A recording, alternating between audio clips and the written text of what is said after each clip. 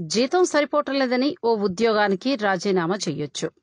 కానీ ఏకంగా ప్రధాని పదవికే రాజీనామా చేసే వ్యక్తి గురించి ఎక్కడైనా విన్నారా? అసలు ఇలాంటి న్యూస్ ఒకటి ఉంటుందని కలలో అయినా ఊహించారా? అది కూడా ఓ చిన్నా చితగా దేశమైతే అనుకోవచ్చు. ఏకంగా ఒకప్పుడు ప్రపంచాన్ని ఏలిన రవి అస్తమించని సామ్రాజ్యం అని పిలువబడిన ఇంగ్లాండ్ ప్రధాని తనకు శాలరీ సరిపోవటం లేదని పదవి నుండి తప్పుకోవాలి అనే అంశం ఇప్పుడు ప్రపంచంలోనే వింతగా మారుతోంది. ముఖ్యంగా ఇండియా లాంటి దేశంలో ఇదొక సంచలన వార్త. రాజకీయ నేతలు చిన్న కార్పొరేటర్ వార్డు మెంబర్గా టిక్కెట్ దక్కించుకోవడానికి హత్యలు ఘర్షణల వరకు వెడుతున్న సంఘటనలు చూస్తున్నాం. ఇక మంత్రి ముఖ్యమంత్రి పదవుల కోసం చేస్తున్న రాజకీయాలు ఒకరిపై ఒకరు చేసుకుంటున్న ఆరోపణలు ప్రత్యారోపణలు వింటుంటే షాక్ అవుతాం. ఇదంతా రాజకీయ నేతల గోళ అని సరిపుచ్చుకుంటాం. కానీ బ్రిటన్ ప్రధాని బోరిస్ జాన్సన్ సంచలన నిర్ణయం తీసుకున్నారు. తనకు ప్రధానిగా జీతం సరిపోవటం లేదని ఆయన సంచలన నిర్ణయానికి రెడీ అయ్యారు. బ్రిటన్ ప్రధాని పదవి నుండి తప్పుకోవాలని బోరిస్ జాన్సన్ నిర్ణయించుకున్నట్టు బ్రిటన్కి చెందిన ప్రముఖ పత్రిక ప్రకటించింది. ఈ ఆర్టికల్ ఇప్పుడు బ్రిటన్ దేశాన్నే కాదు యావత్ ప్రపంచాన్ని షేక్ చేస్తోంది. అయితే ఈ నిర్ణయం ఎందుకన్నారో కూడా ఓ ఆసక్తికర కథనాన్ని ప్రచురించింది. ఎందుకు అనంటే కేవలం జీతం సరిపోకపోవడంతోనే బోరిస్ జాన్సన్ ఈ డెసిషన్ తీసుకున్నట్టు ఈ కథనంలో రాసింది. బ్రిటన్ ప్రధానిగా బోరిస్ జాన్సన్స్కి వచ్చే వేతనం కంటే గతంలో ఆయన పనిచేసే ఉద్యోగంలోనే ఎక్కువ జీతం వచ్చేదిట. ఇంతకీ ఆయన ఏం జాబ్ చేశాడు అనే కదా మీ అనుమానం? గతంలో ఆయన ఓ డైలీ పత్రికలో కాలమిస్టుగా పనిచేస్తూ మంచి ఇమేజ్ను కూడా దక్కించుకున్నారు. కాలమిస్టుగా ఆయనకు తిరుగులేని ఇమేజ్ అక్కడ సంపాదించిన నాలెడ్జ్తో పాలిటిక్స్లోకి ఎంట్రీ ఇచ్చారు. అయితే ఆయనకు కాలమిస్టుగా అప్పట్లోనే రెండు పాయింట్ ఏడు ఐదు లక్షల పౌండ్లు సంపాదించేవారట. ఇటు తన స్పీచ్లు కూడా భారీగా పారితోషికాన్ని చార్జ్ చేసేవారట. నెలకు ఓ రెండు ప్రసంగాలు ఇస్తేనే దాదాపు ఒకటి పాయింట్ ఆరు లక్షల పౌండ్లు వచ్చేవిట. ఇది రెండు పాయింట్ ఏడు ఐదు లక్షల పౌండ్ల సంపాదన కథనం కానీ ప్రధానయ్యాక సంపాదన సగానికి సగం పడిపోయింది. ప్రధానిగా ఆయనకు వచ్చే వేతనం కేవలం ఒకటి పాయింట్ ఐదు లక్షల పౌండ్లు మాత్రమే. ఈ సంపాదనతో ఆయన కనీస అవసరాలు కూడా తీరటం లేదట. బోరిస్కు ఆరుగురు పిల్లలు. విడాకులిచ్చిన భార్యకు భరణం ఇవ్వాల్సి ఉంది దీంతో ప్రధానిగా తీసుకుంటున్న జీతం దేనికి సరిపోవట్లేదని బోరిస్ జాన్సన్ ఆవేదన చెందుతున్నారని సమాచారం. బోరిస్ జాన్సన్ ఒకప్పుడు జర్నలిస్టుగా పనిచేశారు. ఆ తరువాతే రాజకీయాల్లోకి ప్రవేశించారు. కన్జర్వేటివ్ పార్టీ అధినేతగా థెరిసా మే స్థానంలో బోరిస్ జాన్సన్ ఎన్నికైన తర్వాత రెండు వేల పంతొమ్మిది జూలైలో ఆయన బ్రిటన్ ప్రధానమంత్రిగా బాధ్యతలు చేపట్టారు. బోరిస్ జాన్సన్ పూర్వీకులది బ్రిటన్ కాదు. ఆయన తాత ముత్తాతలది టర్కీ దేశం.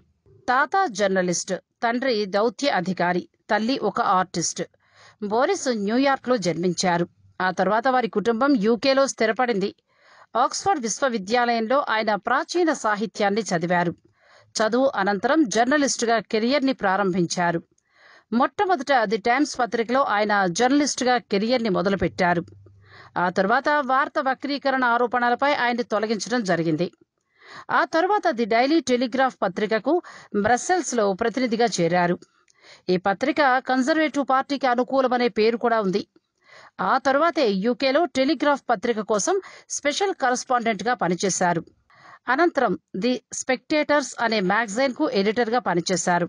ఓ ఛానల్లో చేసిన న్యూస్ బేస్డ్ కార్యక్రమంతో బోరిస్కు తిరుగులేని ఇమేజ్ వచ్చింది. న్యూస్ రిపోర్టర్గా పాపులారిటీ కూడా దక్కించుకున్నారు ఆయన. ఈ షో ద్వారా ఆయన ఎందరో ప్రముఖులను ఇంట్రడ్యూస్ చేశారు. ఈ అనుభవమే బోరిస్ను పొలిటికల్గా రాటుదేల్చాయి ఆయనను రాజకీయవేత్తగా మార్చాయి.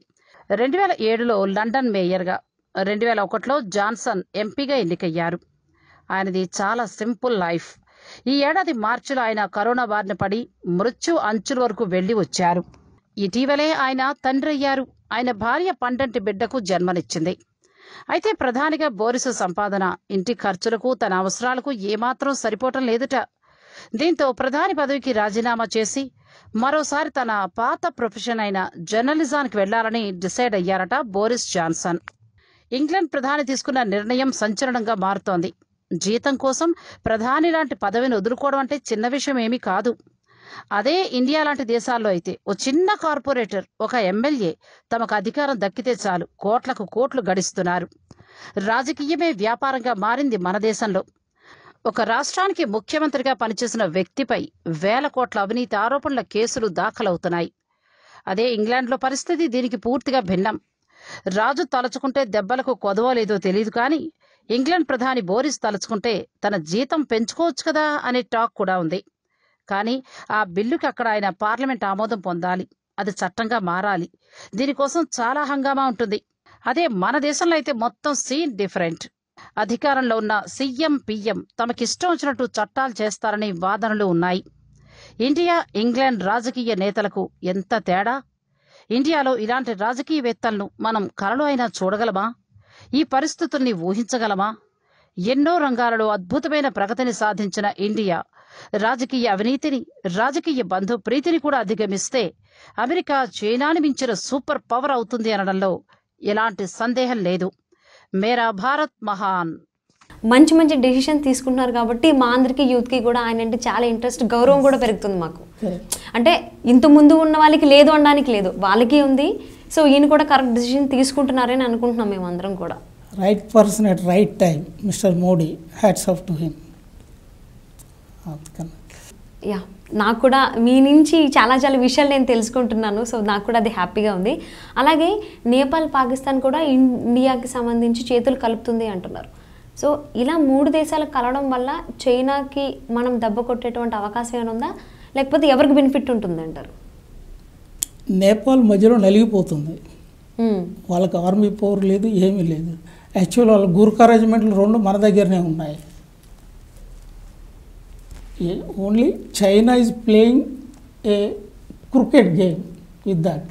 We're going to do this thing we're going to help you this way that way your a poor economy and all we're making use of it why they are happy with the Ch- Pakistan because they have ceded some land from our Aksai chain.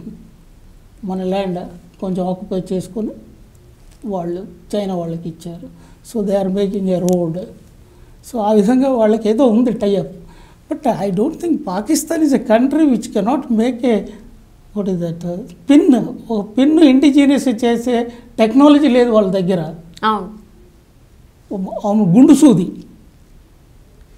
తయారు చేసే technology ఆ దేశంలో లేదు what they will compete with us other than the proxy war hmm. పుల్లలు పెట్టడం అనమాట టెర్రరిస్టులు పంపించడం అది పంపించడం that's not a country at all absolutely it's anarchy is going on there Hi, this is Pradeep Machraju. Please subscribe to Mirror TV. please like share subscribe Mirror TV